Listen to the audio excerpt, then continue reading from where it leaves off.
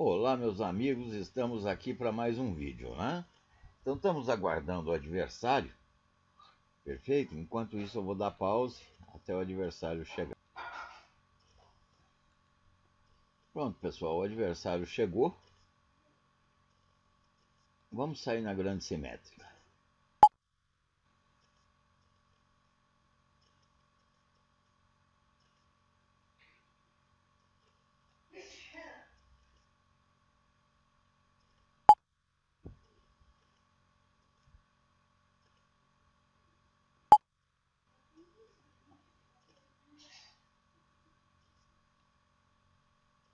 Olha que interessante. Eu gosto dessa grande simétrica por causa disso. Ó.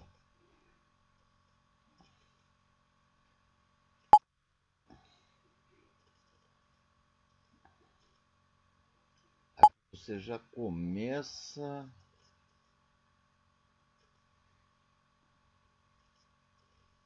Veja, eu posso trocar e desenvolver H2, né? Talvez seja o melhor, ó, desenvolver H2. Ó.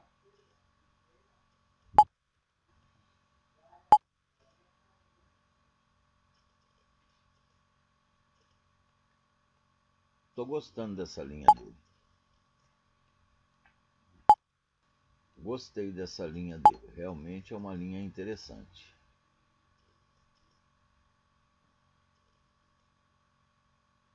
Muito bacana essa linha dele aqui.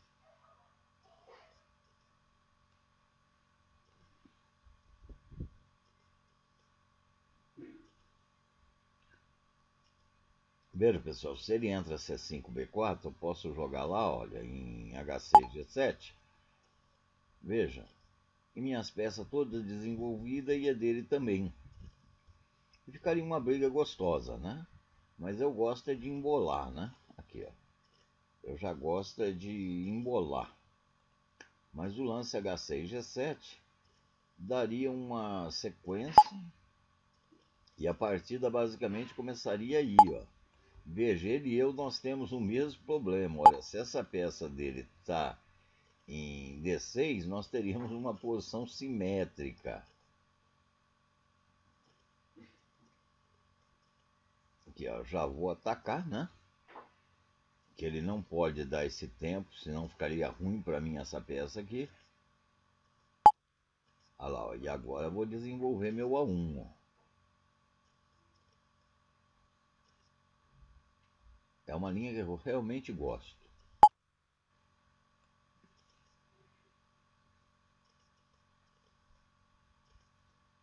Por exemplo, se ele jogar B6 a 5, eu jogo G3, F2, G3. A 7, eu não posso desenvolver lá sempre com perigo de, de dar, olha.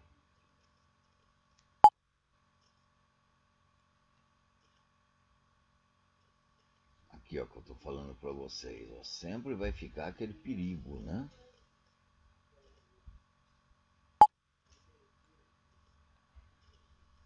Olha lá, veja, olha o perigo.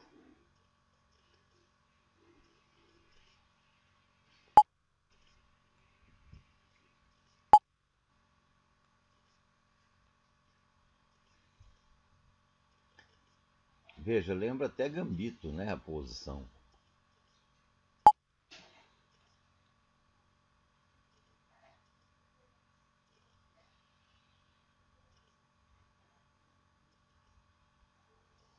Eu não posso deixar ele ficar trocando para trás e eu tenho que desenvolver lá, ó.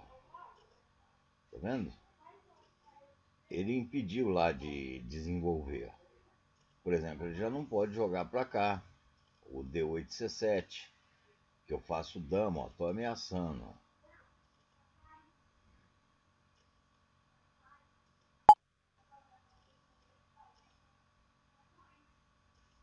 eu ver aqui que essa posição tá boa para mim.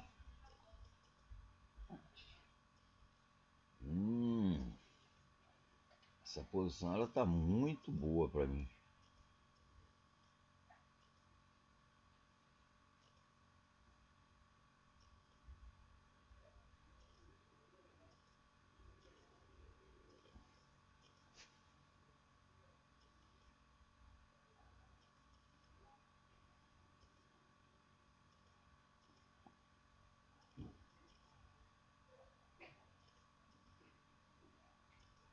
É muito boa a posição, realmente.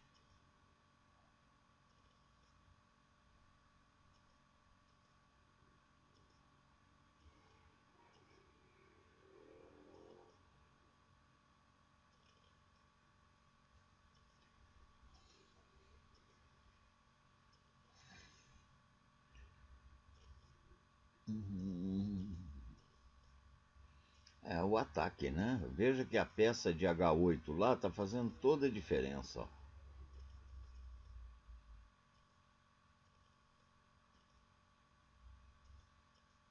O problema dele é aquela peça de H8.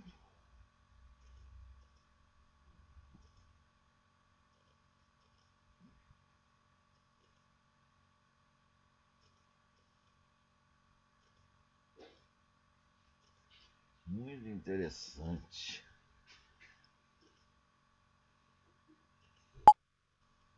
Olha lá, eu vou atacar novamente.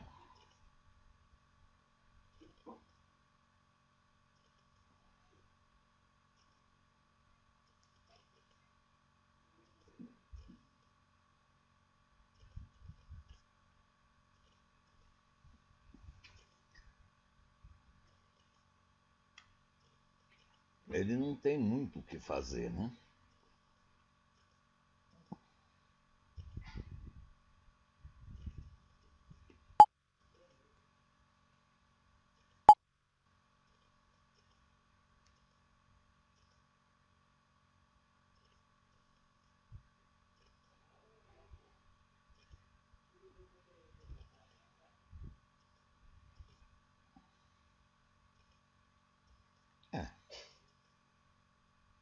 Eu já posso fazer dama. Jogo lá, ó.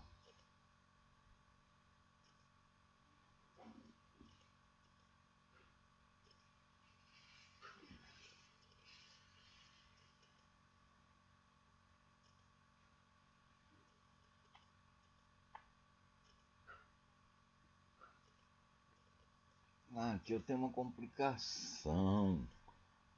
Hum, uma complicação para mim ganhar.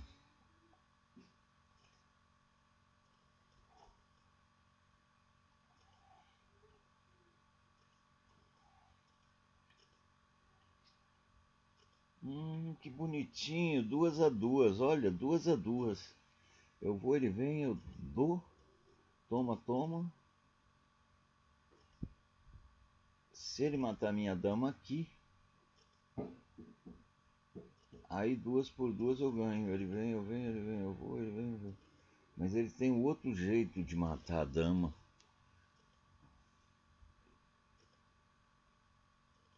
Ah, mas o outro jeito vai perder também. Hum, duas a duas eu ganho na oposição. Olha que finalzinho bonitinho. Eu vou mostrar para vocês. Veja, se ele atacar, eu vou dar para trás e dar lá, ó. E tenho ainda outra opção, né? É, de vir. Né? Ele toma, eu dou e tomo as três, ó.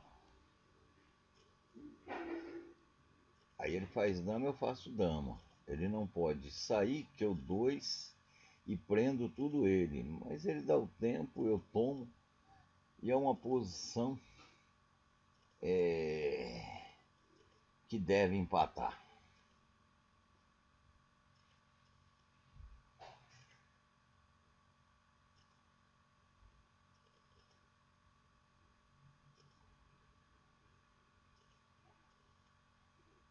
Por isso que é bom, pessoal, conhecer a oposição, né? E se ele matar do outro jeito, né? Eu já vi também que ele vai ficar mal.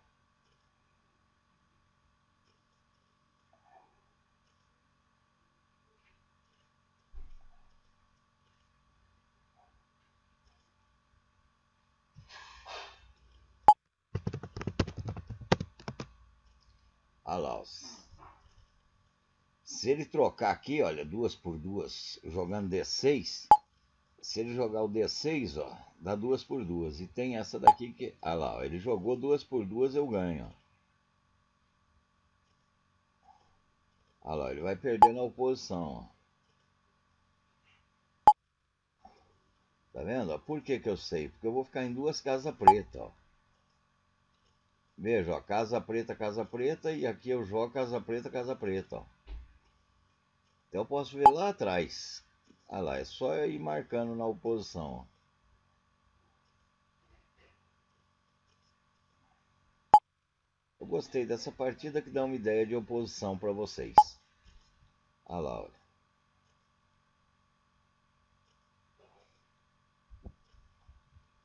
Então aí deu para se ter uma noção do, da, da oposição, ok? Eu vou dar o pause e jogar mais uma com ele. Eu não gosto de jogar. Olá, meus amigos. Então vamos aos comentários da partida, né? Eu gostei muito dessa partida porque ela mostrou a oposição, né? Como que é possível você, com conceitos, contar é, o erro, né? Mesmo você tendo conceitos numa partida 5 minutos, que é onde você tenta errar menos, às vezes você pega um conceito e deixa outro, né? E o pessoal que não é profissional, que nunca participou, né? Porque damas é, uma, é um esporte igual qualquer outro, né? Então tem lá seus segredos, não só no tabuleiro, mas na estrutura esportiva. Nós estamos tendo um torneio de xadrez na Alemanha e o garoto de 14 anos, o Vicente Kramer, né? é, foi enfrentar o, atual campeão mundial, Magnus Carlsen, né? E o menino conseguiu equilibrar. Só que o garoto ficou ruim no tempo. Ele tinha um minuto para dar um monte de lance. Como que funciona? Aconteceu comigo e com Lorival, Lorival França, em Americana. Nós tínhamos duas horas para dar 40 lances. Então, duas horas para mim, duas para ele, já são quatro horas de partida. Passou os 40 lances, você tem mais duas horas para dar mais 40 lances. Chama controle de tempo. Então, você deu os 40 lances, você ganha mais duas horas. Muito bem, estava jogando Lorival e eu. Quando chegou no 22 segundo lance, tanto o Lorival quanto eu, nós tínhamos um minuto apenas para dar 18 lances. E é claro que aí a partida perde a qualidade. Então as partidas relâmpago elas servem para isso, né? É, para que você quando fique apurado no tempo você saiba o que fazer. Né? Nós temos vários GMI que se ficar apurado no tempo não vê mais nada no tabuleiro, né? Então eu vou mostrar isso daqui para vocês, vocês vão sentir isso nitidamente aqui, olha. Então veio na grande simétrica, né? Eu gosto dessa grande simétrica para trocar para trás. Desenvolvi meu H2 e vou tentar bloquear o H8 dele, olha.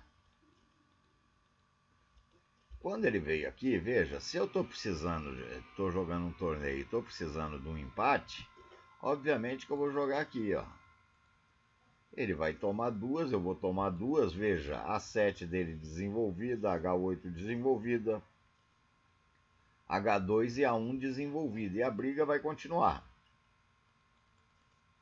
Como não era o caso aqui, eu, eu saí, ele veio, Veja, H8 dele está com problema. Se ele avança essa peça, eu vou atacar, olha. Né? Poderia ser, tem, tem condições de jogo, né? Ele jogou eu já fiz porque ele não pode jogar o D8 e 7 para ameaçar dar duas, porque eu estou ameaçando dar uma, tomar duas, olha.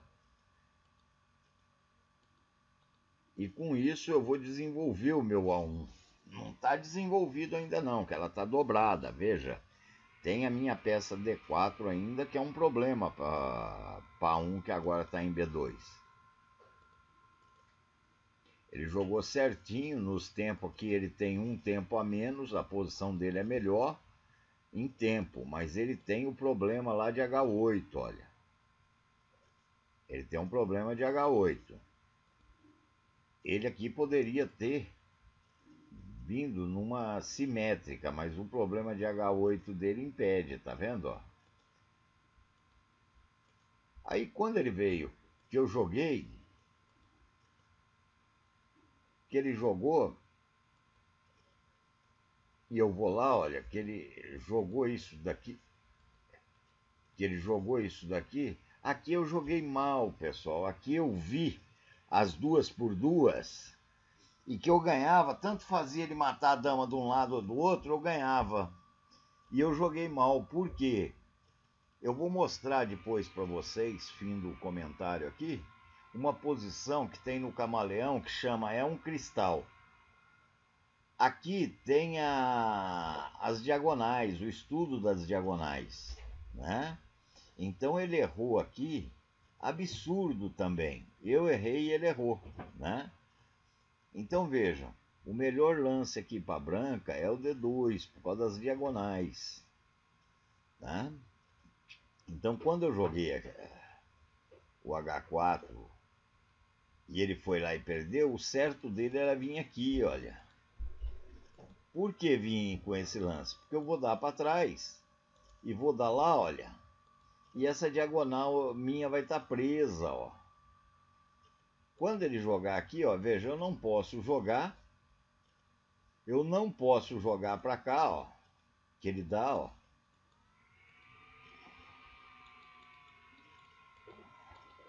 E essa dama minha, ela fica bêbada no tabuleiro.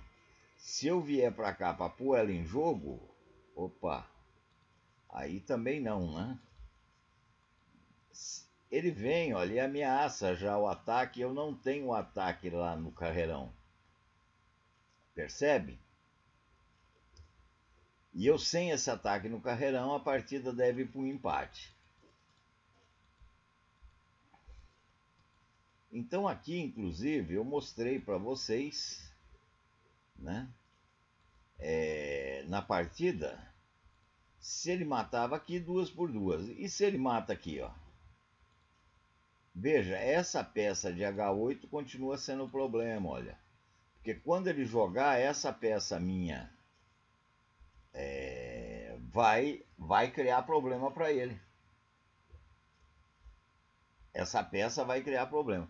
E embora ele, é, mesmo se ele joga aqui, olha, não adianta dar para trás que essa está na oposição. E também não adianta dar essa para trás. Então o que, que teria que fazer? Ele teria que vir, ó. E essas três peças aqui é presa fácil para essas, né? Então aqui não adiantava ele matar a minha dama nem de um lado nem do outro. Então esse lance que parecia forte porque ganhou duas por duas é um lance fraco, né? Porque veja, ó, eu jogo. Quando ele joga, eu não posso mais jogar esse. Por que não? Por causa desse, ó.